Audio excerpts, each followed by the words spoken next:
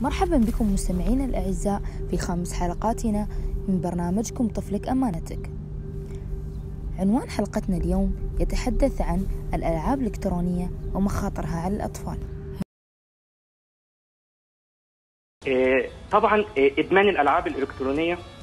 مشكلة الألعاب الإلكترونية إنها بتعمل على تحفيز مركز المكافأة في المخ.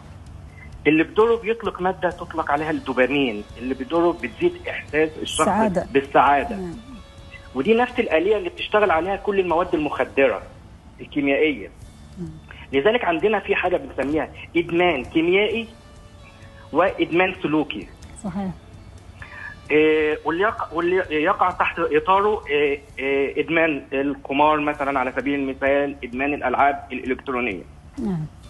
وعندنا في الطب النفسي آه، التصنيف الخامس للأمراض النفسية التصنيف الأمريكي الخامس للأمراض النفسية شمل اضطراب الألعاب الإنترنت بالفصل الثالث ضمن الحالات اللي تستدعي مزيدا من الدراسة.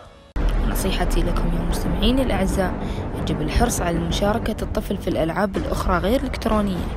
الحرص على التواصل الإيجابي بين أفراد الأسرة والتعرف على المواهب التي يتمتع بها الطفل والعمل على تنميتها. كنت معكم أنا نهى الرياشي. إلى اللقاء في حلقة أخرى من برنامجكم طفلك أمانتك.